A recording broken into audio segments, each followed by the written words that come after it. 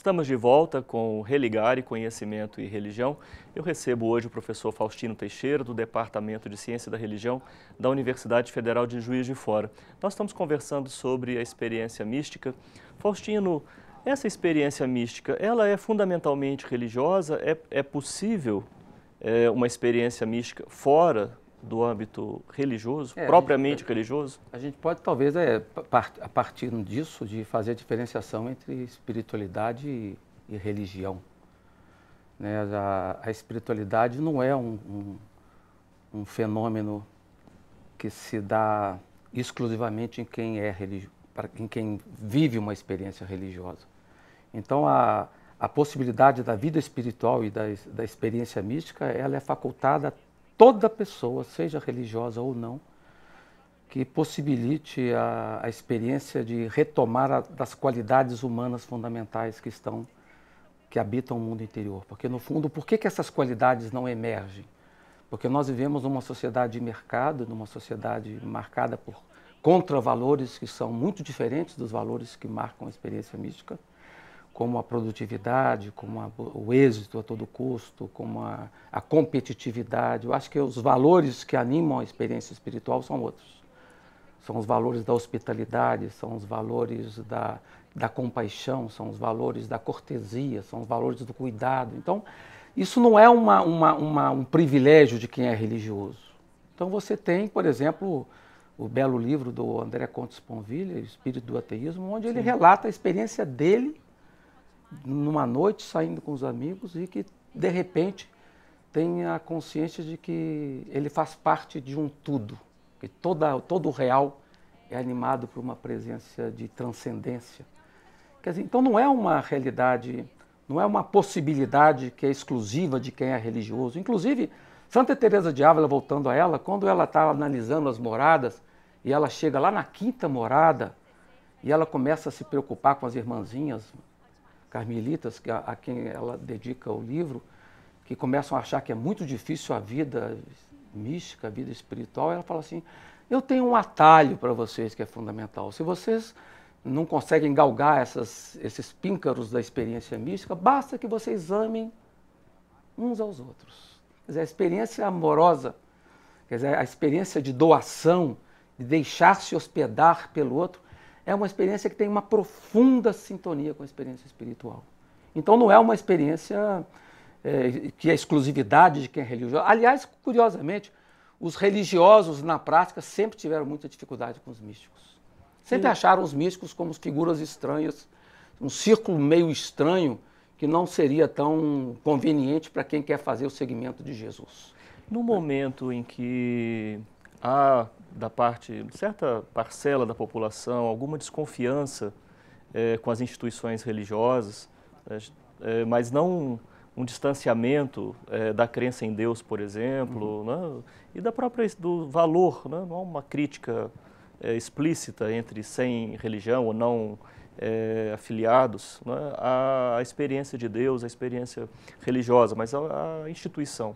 É, esse caminho é, da mística, ele, ele pode se constituir como uma alternativa? Eu diria que é o caminho da retomada dos valores essenciais, da qualidade. Aliás, o Dalai Lama sempre bateu muito por isso. Né? Quer dizer, todo ser humano tem qualidades essenciais que estão escondidas, né?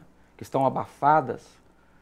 Então, você poder criar condições para que essas qualidades venham à tona esse é o trabalho do, do mundo espiritual. E esse é um trabalho que é, é aberto e possibilitado a todos. Né? E, e, todos nós temos possibilidade de um momento ou outro na nossa vida de vivermos essa sedução do mistério. Eu diria mais do que necessariamente uma experiência de Deus. Né?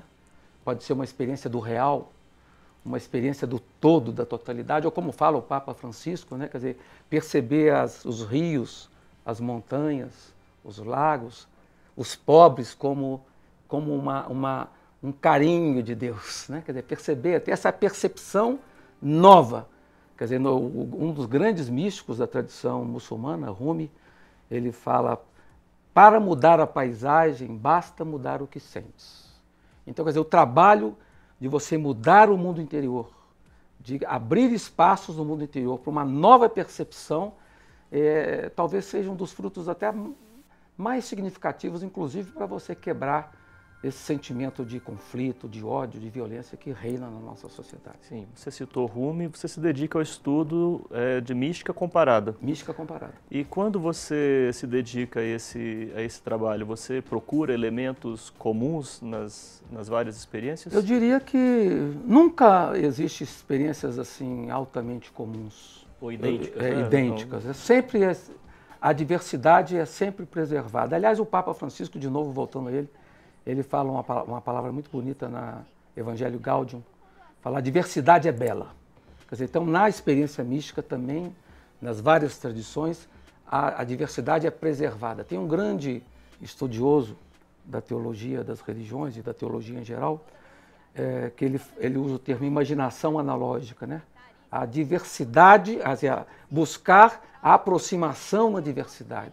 Então, ou seja, a, a, a diversidade vem preservada mas você é capaz de, de perceber, de captar elementos de sintonia. Aliás, quem colocou isso de forma magnífica foi Paul Tillich. Ele fala, quando você faz a experiência de adentramento na própria tradição, se você é cristão, ou se você é muçulmano, ou se você é budista, se você penetra na sua tradição em nível de profundidade, chega um determinado ponto da sua penetração que aquilo que antes você estava vinculado na superfície perde a absolutidade e você é capaz de ganhar um, um ritmo e um clima de liberdade tal na sua experiência de profundidade que você percebe de forma muito bonita e muito viva a, a presença do mistério em todo lugar.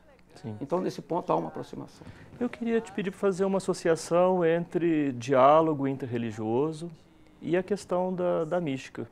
É, um, um, dos pontos assim que às vezes dificulta a abertura para o diálogo é a pretensão à posse da, da verdade. A mística nos abre né, para um diálogo mais, mais livre com o outro. Com, um dos, com, dos documentos mais bonitos sobre o diálogo, que é o Diálogo e Anúncio, do Pontifícia Comissão para o Diálogo Interreligioso, fala que a experiência espiritual é a mais profunda forma de diálogo. Você tem o diálogo das obras, né, o diálogo é, da, da, que as religiões se unem através de obras comuns na, do trabalho social. Você tem o diálogo teológico, que é mais difícil, e você tem o diálogo da oração, o diálogo da, espiritual, como foi o encontro de Assis em 86, por exemplo. Né? Então, acho que talvez um dos melhores canais de você captar a, a, a sintonia entre as religiões é a experiência espiritual.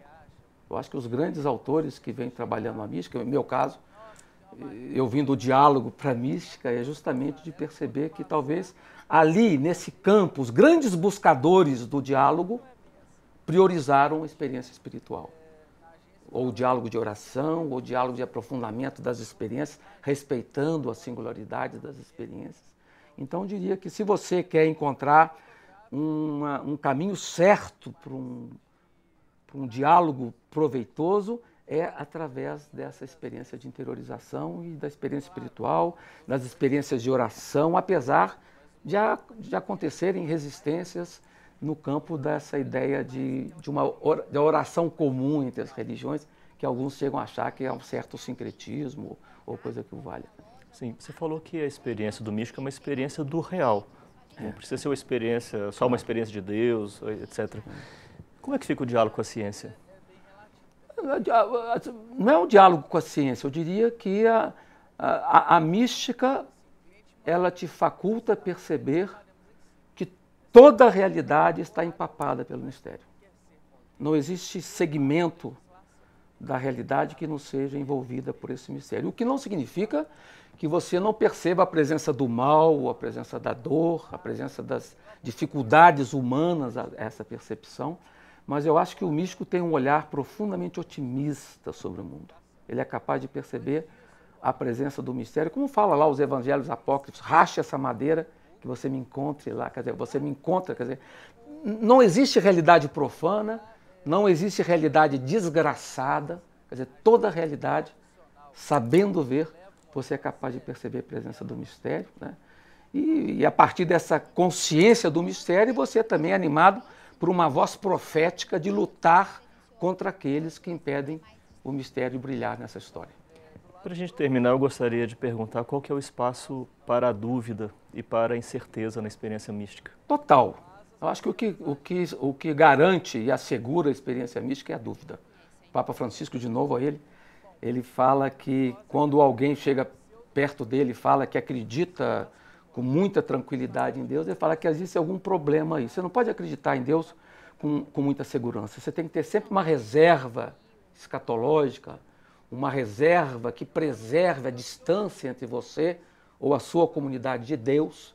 E os grandes guias da experiência mística ou religiosa, como por exemplo Moisés, sempre resguardaram um lugar para a dúvida. Então acho que a dúvida é o que garante a nossa busca.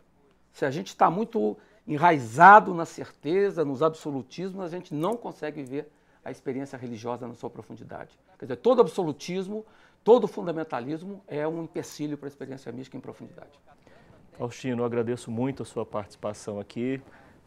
Peço que você transmita um, abraço lá para os colegas do Departamento de Ciência da Religião.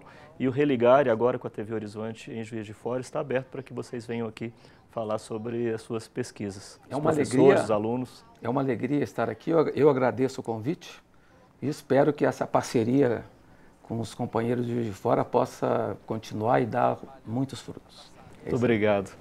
O Religare Conhecimento e Religião é um projeto de extensão do programa de pós-graduação em Ciências da Religião da PUC Minas. Conheça as nossas atividades acessando a página pucminas.br barra ppgcr. O Religare de hoje fica por aqui. Obrigado pela sua companhia, um abraço muito cordial e até a próxima semana com o novo Religare Conhecimento e Religião.